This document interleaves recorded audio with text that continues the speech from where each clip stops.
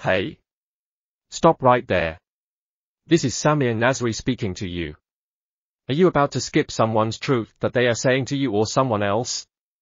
Like come on, you need to know what someone is saying to you or someone else is true, and that easily proves that you are denying the truth that someone is speaking to you or someone else. Let's skip this part and continue with this response.